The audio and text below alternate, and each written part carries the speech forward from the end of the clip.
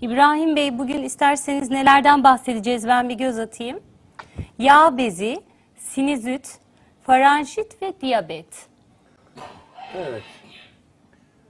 Yağ bezi birçok insanda yağ bezi, kist, miyom, nodül oluşuyor. Neden, niçin oluşuyor? Birçok soru işareti. Yağ bezi derin altında olursa basitçe buna lipom denir. Sinir uçlarında olursa nörom denir. Yağ dokusunda oluşabilir. İçeride oluşabilir. Evet. Çeşit çeşit türleri var. Bugüne kadar yapılan araştırmalarda yağ bezi olsun, miyom olsun, kist, nodül bunların oluşum sebebi üzerinde birçok görüş ortaya atılmış fakat kesin bir e, bilgi, bulgu yok. Evet. Fakat bizim yapmış olduğumuz araştırmalarda yağ bezi genellikle kolesterolü olan insanlarda oluyor. Neden? Niçin? Kişi aşırı ilaç kullanmışsa veya yanlış beslenmişse Evet. bağırsaklardan sürekli bir toksik madde geliyor. Karaciğer bunu arıtmak için B6 vitamini, B12 vitamini, folik asit harcıyor. Zamanla karaciğer yoruluyor, yağlanıyor. Arıtamadığı toksik madde yağ bezi yani lipom veyahut da miyom, kist, nodül vesaire şeklinde vücudun çeşitli organlarına depolanıyor ve problemleri tetikliyor. Bu lipom olsun, miyom olsun, kist olsun bunlar aynı soğan gibi düşünelim. Evet. Saçak şeklinde yan kökleri var. Çevre dokuya böyle köklerini salarak adeta oralardan besleniyor. Ahtapot gibi. Şimdi bununla ilgili birçok bizim deneyimiz oldu. Ve özellikle de kendi üzerimde. Ben büyük oğlumu karateye gönderiyordum. Almanya'dayken 20 yıl önce. Çocukla evde antrenman yapıyoruz. O zaman da 15-16 yaşında. Ya yeter artık çok ezdin beni, beni dedi bana bir yumruk vurdu. Vaa nefes alamadım çok kötü oldum. 2-3 gün geçmedi ama normal. Evet. Bir gün sonra ağrısızı kalmaması gerekir. Allah Allah ne oldu acaba ne var ki dedim. Yani bir yumrukla bu kadar olmaması gerekir. Nakavt olduk. Doktora gittim muayene oldum dedi ki mide ile bağırsaklar arasında yumruk büyüklüğünde yağ bezi var. Evet. Yapma. Evet. E ne olacak? Ağır bir şeyi kaldırırsan bağırsakların veya miden patlayabilir. Gerçekten mi? Gerçekten. E ameliyat. Ameliyata gerek yok dedim. Benim bunun için çok özel bir formülüm var. Neymiş? X. İyi hadi bakalım dedi. Uzun süre 6 ay korkumdan her gün sabah, öğle, akşam günde 5 defa içtim içtim. Kurtuldum. Bir beyefendi geldi bana yıllar önce. 7 yıl oluyor. Dedi ki kurmay albay sahile gidiyor. Şimdi plajda tabii. Adamcağızın şu omuzunda yumurta büyüklüğünde kolunda ceviz büyüklüğünde iki tane koca koca böyle Yağ yağ bezi. Çocuklar bakıp alay gidiyorlarmış ad- adamcağızla. Bu da kurmay albay ya tabii biraz disiplinli asker. Zoruna gitmiş. Ameliyat olursam izi kalır veya tekrar nükseder. Çünkü ameliyat olduğu zaman bir tane varsa ameliyatta aldırdığınız zaman birçok türüyor. 40-50 tane birden oluyor. Bir tanesi ameliyat olmuş adam bana geldi böyle vücudunda 200 tane yağ bezi. Ceviz büyüklüğünde, fındık büyüklüğünde, iri ufaklı bir sürü bilya gibi. Şimdi dedim ki ameliyat olursan dişisi oluyor. Çoğalıyor, hızla yayılıyor. Tehlikeli olabilir. Evet. Bakalım bir deneyelim. Peki dedi. Altı biz bunlara ürünler verdik, kullandı, kullandı. Altı hafta sonra ben aradık. Hiçbir etkisi olmuyor. Dedim dozajı artırabiliyor musun? Bu tempoyla 5-6 ay sürebilir. Dozajı artırabilirsen bir buçuk iki ayda bile iyileşebilirsin. Evet. Nasıl olacak? Günde beş defa yarım çay bardağı içebilir misin? Dedik ki ben kurmay albayım. 20 kilometre yüzüyorum dedi. Sporcuyum. Adam sabah kalkıyor barfix. Durmadan spor yapıyor. Koşuyor, antrenman yapıyor. Yüzüyor. Kışın bile yüzüyor. Ben dedim ki problem değil benim için. Ben dedi bir su bardağı bile içerim. Evet. Valla ben içemiyorum. Sen içebiliyorsan iç bakayım dedim. Ben içerim dedi. İşte iyi. Altı hafta sonra dedi ki seni ziyarete geliyorum. İyi gel. Gösterdi kolunu bir şey yok. Ne oldu dedim. Ameliyat oldu. İzi bile yok dedim. Nasıl ameliyat? Omuzunu gösterdi. Omuzunda bir şey yok. Nasıl oldu?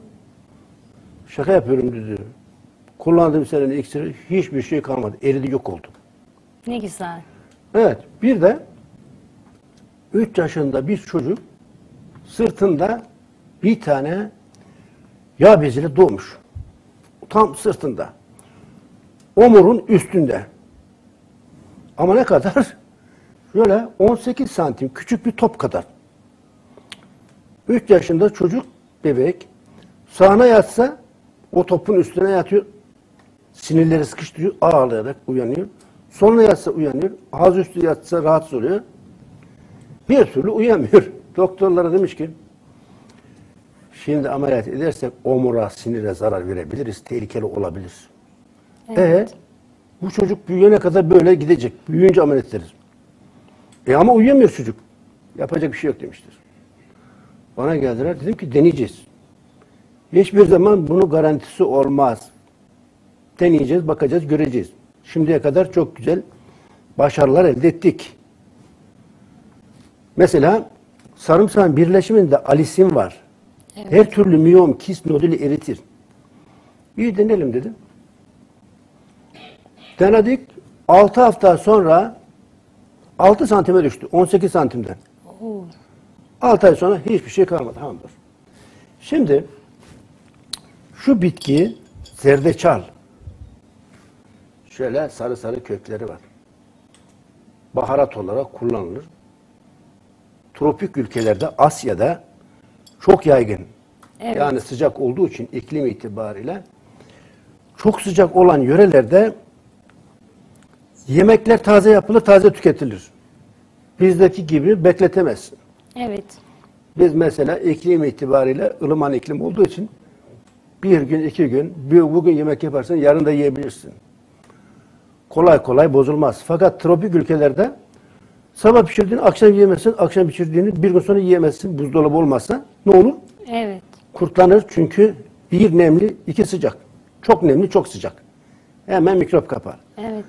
Asyalılar bütün yapmış oldukları yemeklere zerdeçal, zencefil, kimyon gibi bitkilerin karışımından oluşan çok özel karışımlar katarlar ki bozulmasın diye. Yoksa gıdaların bozulması çok kısadır. Kısa ömürlü. Bu zerdeçalla ilgili birçok klinik araştırması yapılmış. Bu yapılan araştırmalardan birkaç örnek vereyim. Birleşiminde ama şimdi bazıları diyor ki geçen bir beyefendi gelmiş. Ben diyor zencefili, zerdeçalı, barla karıştırdım yiyorum. Afiyet olsun. Çok güzel, çok iyi. Fakat zerdeçalın birleşimindeki etken madde yüzde üç ila beş monoterpenler, sesku terpenler denen etirik yağlar. En etken madde. Evet. Yüzde üç ila beş yani ortalama yüzde dört. Siz bunu öğütürde tozunu kullanırsanız faydalı. Fakat daha faydalı olan nedir? Damıtılarak, destilasyon yani suyla damıtılarak veya alkolle damıtılarak elde edilen ekstraktı nedir? Yüzde yüz yani yüzde seksen doksan daha etkili. Bu kökünün tozu etkili ama o kadar değil. Şimdi yapılan araştırmalarda mesela Tayland'da yapılan araştırmada zerdeçal kökünün kokuşma, ekşime, karında ve karın altında ağrılar, kalın bağırsak ağrıları vesaire gibi rahatsızlıklar iyileştirilmiş. Profesör Doktor Siges ve ekibinin yapmış olduğu araştırmalarda safrayı, karaciğerin safra salgılamasını yüzde 120 yani iki katından daha fazla artırdığı, safranın kalitesini artırdığı, safranın akışını artırdığı belgelenmiştir. Ne demek? Karaciğeri çalıştırıyor. Fonksiyonlarını artırıyor. Evet. 3. Profesör Doktor Kutlan, Profesör Doktor Her Zütern, Profesör Doktor Joseph bu üç ayrı profesör ve ekipleri yapmış oldukları araştırmalarda zerdeçalın her türlü tümörü, tümörü, Evet. iyi huylu veya kötü huylu tümörü, nodülü, miyomu, kisti erittiğini belgelemişlerdir. Evet. Bu konuda bilgi var, belge var. Artı sarımsak da aynı şekilde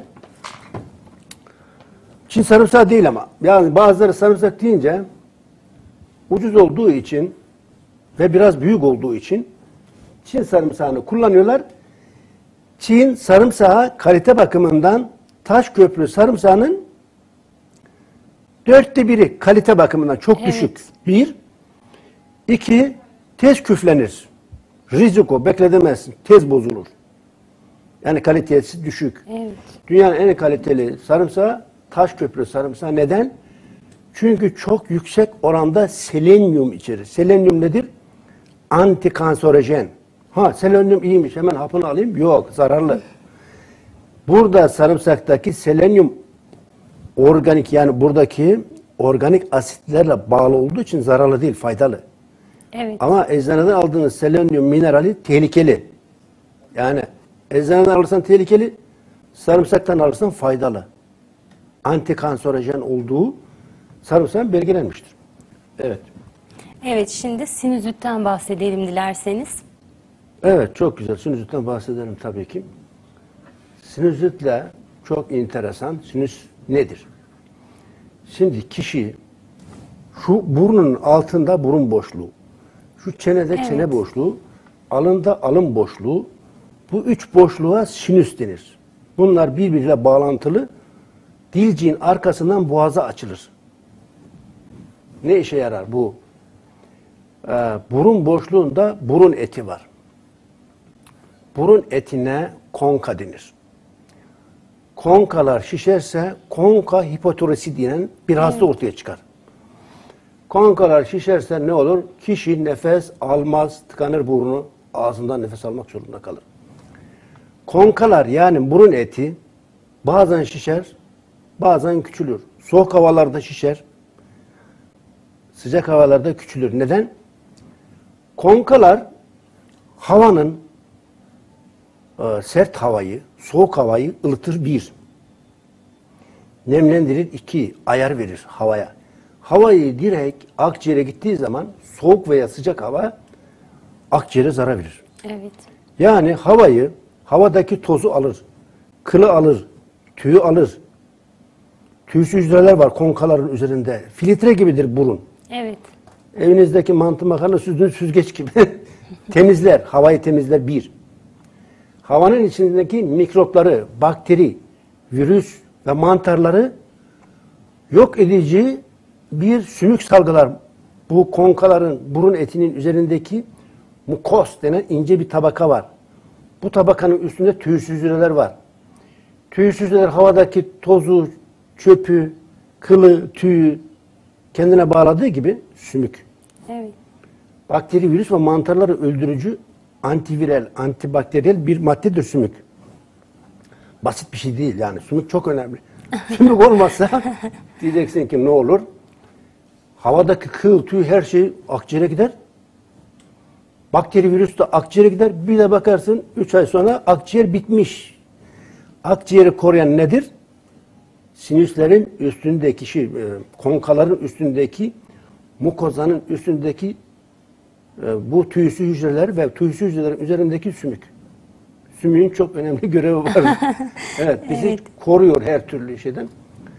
Almanya'daki bir hanımefendiyle Yugoslav bir bayanla karşılaştım. Aa, dört defa sinüslerinden ameliyat olmuş. Konkaları, burun eti şişiyor. Doktora gidiyor, ameliyat oluyor. 6 ay sonra bir daha şişiyor, bir daha ameliyat oluyor. 6 ay sonra bir daha. Dört defa ameliyat oldum. Bir daha ameliyat olacağım. Ama hiç iyileşmiyorum. Hep iltihap devam ediyor. Burundan sürekli iltihap akıyor. Geniz eti akıntısı var. Bu burun etini aldırırsanız konkaları orada bir boşluk oluşur. Burun boşluğu hastalığı. Bu sefer bu ne demek? Bütün havadaki kir, pis, mikrop akciğere gider, akciğer biter.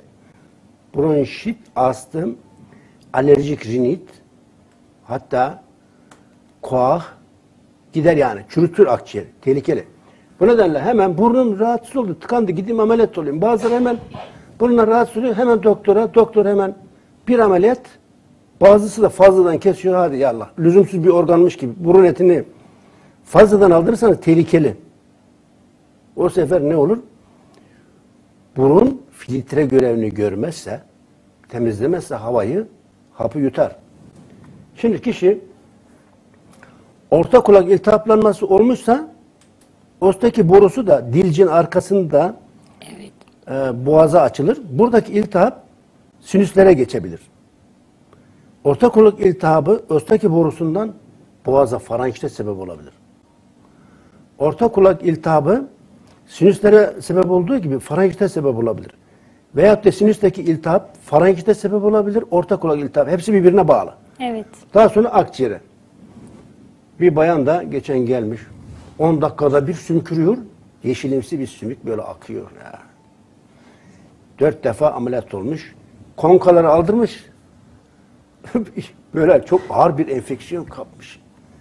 Ameliyat oldum oldum diyor. Hala diyor 10 dakikada bir. Yanında peçete, mendil bir sürü şeyle koşup geziyor. Sümkürdükçe Allah kimseyi düşürmez. İğrenç bir şey. Çok kötü, çok kötü. Evet. Dedim ki problem yok, problem yok. Bizde çözüm çok. Afrika ıtırı. Afrika ıtırı Pelargonium sidoides, Pelargonium reniforme. Sinüzit, faranjit, orta kulak iltihaplanmasına karşı dünyada en etkili bitki. Itırın bilinen 1050 türü var. Sadece bu şifalı ve bunun bir arkadaşı var o. Onun da arkadaşı var. Itır Afrika ıtırı. Pelargonium zidodes, Pelargonium reniforme 1050 zardunya gillerden. Sadece ikisi şifalı. Diğerleri kullanılmaz. Yanlışlıkla kullanmamak gerek. Zaten Türkiye'de yetişmiyor. Bir, bu hanımefendi 3-4 ay kullandıktan sonra rahatladı. Ee, bir de bir geçenlerde bir beyefendi geldi iki ay önce. Ben ona bu ıtırdan çok özel bir formül geliştirdim. Kullandı, kullandı. Diyor ki ya burnum hiç akmıyordu. Bir, bir sağ burnu tıkanıyor, bir sol burnu tıkanıyor.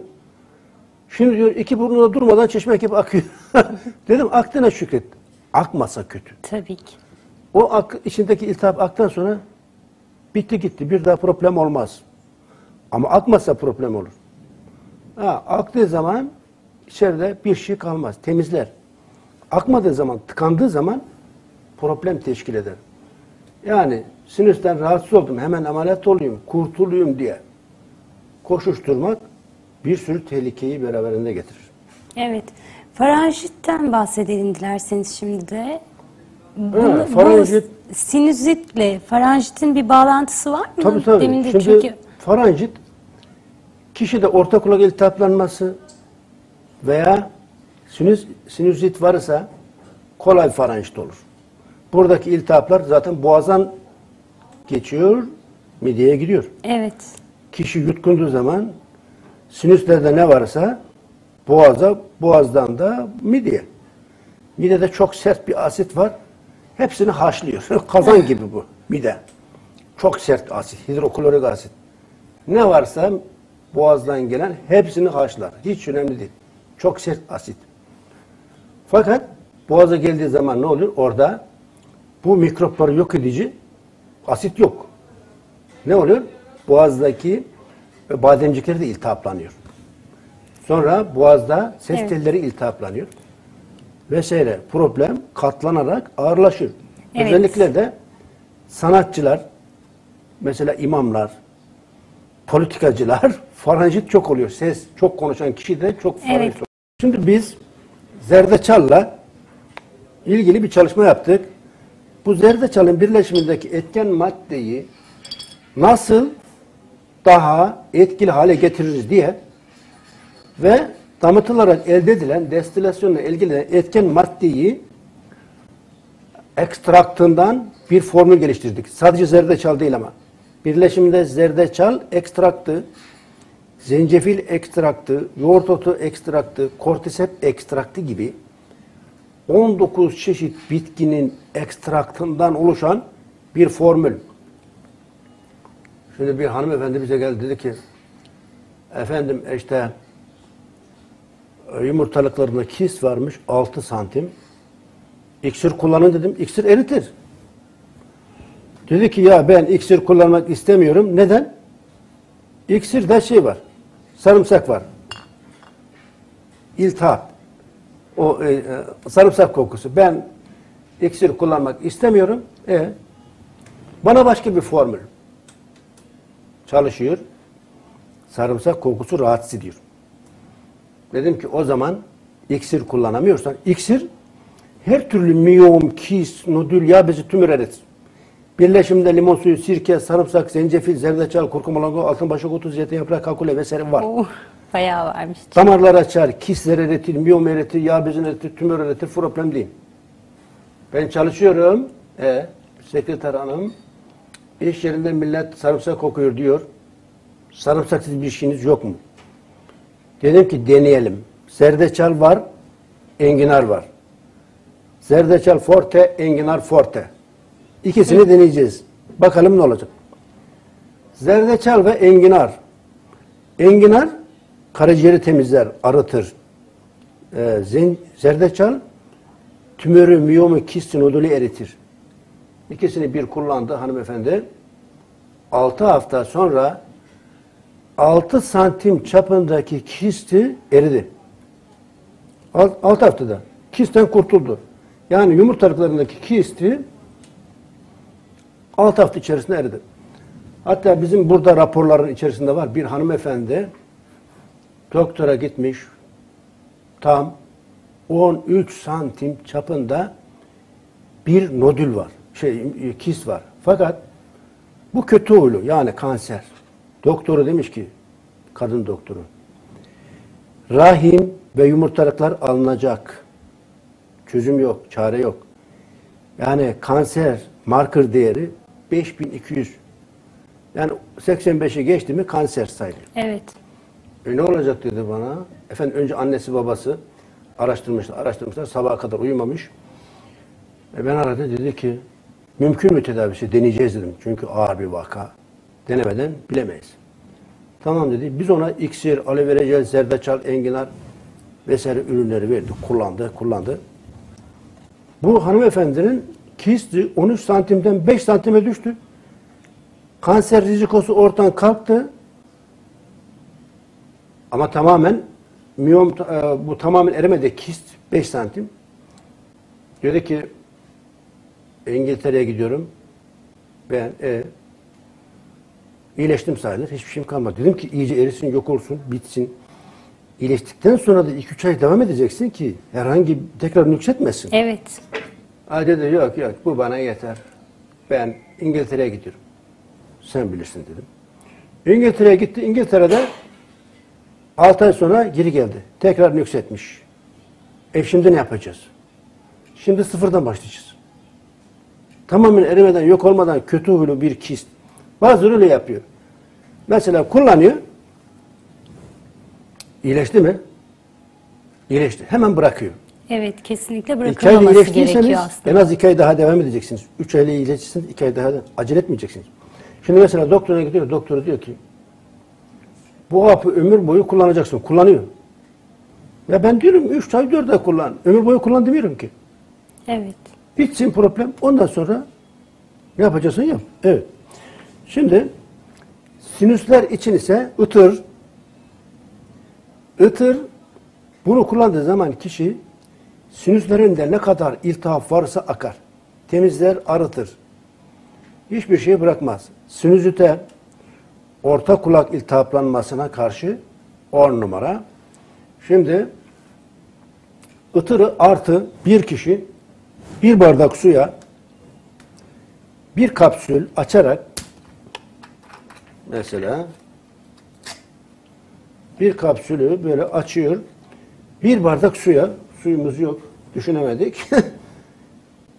bir bardak suya, sıcak suya bir tane kapsül açıp karıştırıyorsunuz. Artı buna bir çay kaşığı sodyum bikarbonat, bir kaş, bir çay kaşığı Himalaya tuzu karıştırdıktan sonra ne yapıyor? Kişi burnuna çekerse sağ burnuna önce sağ burnuna çekip sol burnuna sümkürecek. Sonra sol burnuna çekip sağ burnuna sümkürdüğü zaman sinüslerdeki bütün iltihapları orada biriken tozdu vesaire vesaire hepsini dışarı atar, Evet. temizler. Yani bunu Hem e, böyle bir bardak suyla sıcak suyla karıştırılır. Su, ılıdıktan sonra burada çıkacak tabii sıcak sıcak değil. Bir kapsül bir bardak sıcak suyla karıştırıyor. Bir, bir çay kaşığı Himalaya tuzu, bir çay kaşığı sodyum bikarbonat. Bunları karıştırıp burnuna çıktığı zaman kişi burundaki bütün orada biriken pislikleri temizler, aratır. Fakat illaki böyle şey yapmak gerekmez. Kişi bunu günde üç defa bir tane ıtır aldığı zaman sinüsleri temizler, aratır. Evet. Evet, bir de ada çayı forte. Bu da genellikle faranjit olanlar için. Bademcik iltihaplanması ve faranjite karşı. Faranjit genellikle imam, öğretmen, politikacı, ses sanatkarı gibi sesiyle e, parasını kazanan insanlarda çok olur. Çok konuşanlarda, politikacılarda vesaire ses tellerinde. E, şimdi faranjiti tetikleyen virüstür. Buna bazen bakteri de karışabilir. Stafilokokun, streptokokun gibi bakteriler karışırsa biraz kompleks bir enfeksiyon olur. Nadiren bağırsaktaki mantarlar mide asidi falan dinlemez. Midenin alt ve üst kapakçığından yukarı çıkar. Faranjite karışırsa bağırsaklardaki mantarlar boğazda faranjit enfeksiyonunda rol oynamaya başlarsa, başlarsa kronik faranjit olur. Ha, işte o zaman tehlikeli. Yani normal bir faranjiti adaçayı çok kısa sürede yok eder. Fakat kronikleşmişse boğazında bir yutkunma hissi, bir acı, bir sızı, konuşmada bir efendim problem yaşıyorsa ve uzun süre bu problem devam ediyorsa bağırsaklardaki enfeksiyona mantarlar da karışmış demektir. Kronik bir hal almıştır. Faranjitte bazıları diyor ki antibiyotik kullan efendim faranjitten kurtul. Faranjit için antibiyotik kullanırsanız hastalık, rahatsızlık katlanarak artar. Neden? Antibiyotik bağırsaklardaki faydalı bakteriyi yok ediyor. Evet. Sinüslerin tahrip ediyor. Boğazdaki mukos ayı tahrip ediyor. Yani kurutuyor dokuyu. Sümüksüz süngerimsi mukozanın üzerindeki mukos, mukosu yok ediyor. Doku kuruyor. Böylece ne oluyor? Kişinin vücudu yavaş yavaş hastalıklara karşı kendini koruyamaz hale geliyor. Çok hassaslaşıyor. Daha kolay hastalanır hale geliyor. Antibiyotik bağışıklık sistemini çökertiyor. Bir insanın bağışıklık sisteminin alt elementleri, T hücresi, B hücresi, makrofaj vesaire yani bağışıklık sisteminin yüzde 85'i bağırsaklarındadır. Artı böbreklere de zarar veriyor antibiyotik. Tabii bugün mesela ya geç 50 yıl öncesine göre insan birçok insan diyalize giriyor. Böbrek problemi yaşıyor. Evet. Veya böbrekleri yavaş yavaş iflas ediyor.